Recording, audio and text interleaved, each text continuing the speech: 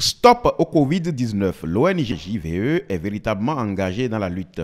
Elle met en place une campagne de sensibilisation qui concerne quatre départements de notre pays, à savoir le Monocoufo, l'Atlantique et le littoral. La spécificité est le déplacement des équipes dans les ménages. Le top de la campagne a été donné dans le 11e arrondissement de Cotonou. C'est le moment de dire à tous nos frères béninois qui sont partout de prendre leur destin en main de prendre leur vie en main, parce que ça ne se donne pas deux fois. Chère population du 11e, je vous demande pardon de toujours respecter ces gestes barrières parce que nous avons besoin de vous au quotidien pour mener le développement de notre chère patrie, le Bénin. L'UNICEF reste le partenaire privilégié de cette campagne et l'ONG JVE agit sur le terrain nous voulons remercier ici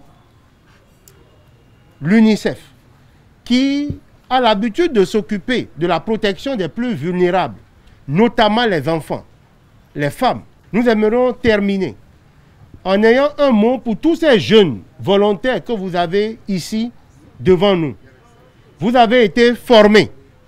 En allant sur le terrain, ne marchandez pas votre engagement. Parce que la sensibilisation ne va pas se faire en français.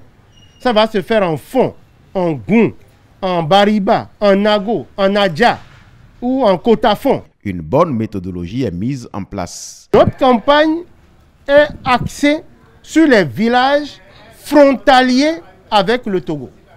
Dans la mesure où il y a des flux de population dans cette zone-là. Cotonou étant une ville cosmopolite, eh bien, il est important que les gens à Cotonou aient l'information.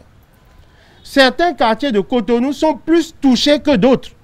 Nous allons être focus sur ces quartiers-là.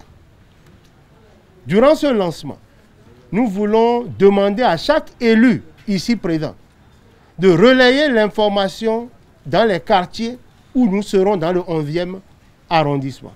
La police républicaine accompagne l'initiative. Je pense que ça ne va pas être difficile parce que déjà c'est notre quotidien.